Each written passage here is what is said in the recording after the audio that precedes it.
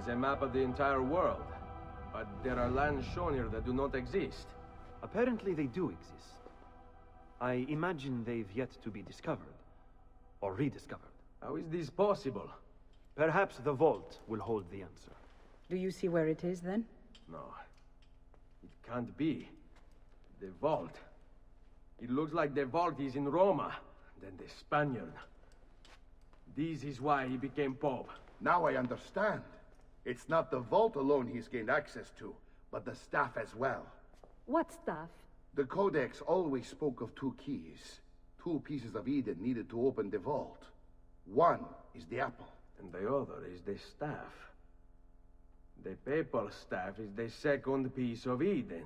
For years, no, decades, we've sought these answers. And now, at last, we have them. But so too could the Spaniard. And if he does, if he finds a way into the vault, its contents will make the apple seem a trifling thing.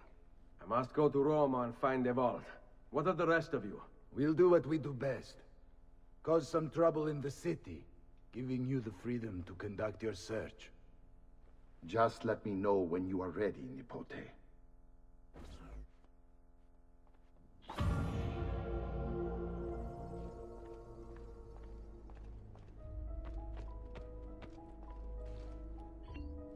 Roma beckons, Ezio.